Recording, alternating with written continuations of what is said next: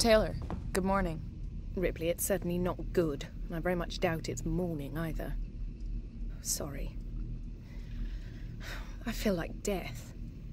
I don't know how you people put up with hypersleep regularly. You get used to it. I don't do long haul very often. Most legal execs don't travel further than the coffee machine. I'm surprised Weyland-Yutani felt the need to send legal at all. The loss of the Nostromo and its cargo cost the company a lot of money. It's important we find out what happened. If I can close the case with a conclusive accident report, it'll look great with my superiors. I'm sorry. That was insensitive. I realize your mother has been missing for 15 years, and, and you... It's okay. We'll both get what we want, right? Uh, have you seen Samuels? He's probably been up for hours. I'll catch up with him.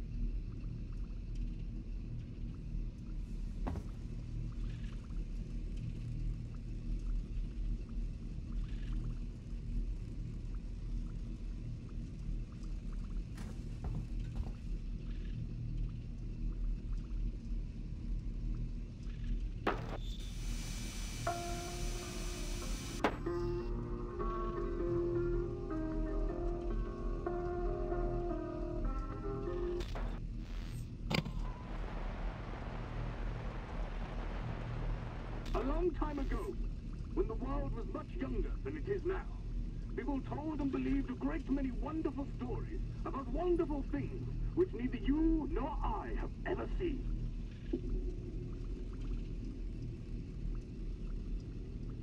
Person talked about a mighty being called Jupiter or Zeus, who was the king of the sky and the earth, and they said he sat most of the time amid the clouds on top of a very high mountain where he could look down and see everything that was going on in the earth and beneath. He liked to ride on the storm cloud and hurl burning thunderbolts right and left among the trees and rocks. And he was so very, very mighty that when he nodded, the earth quaked. The mountains trembled and smoke. The sky grew black, and the sun hid his face.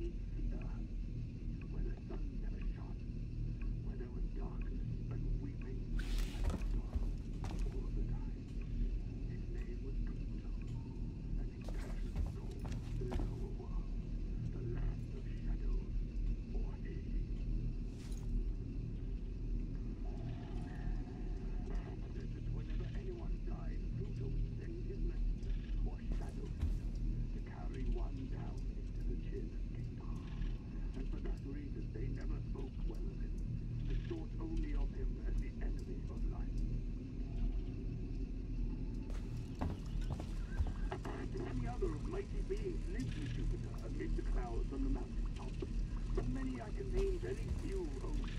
There was Venus, queen of love and beauty, who was fairer by far than any woman you and I have ever seen.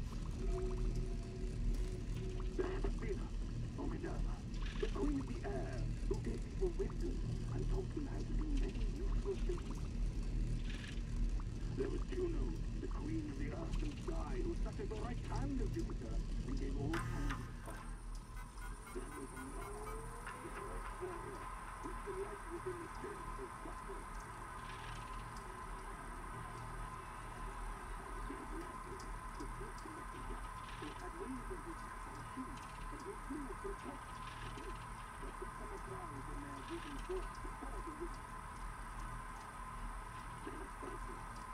Resistance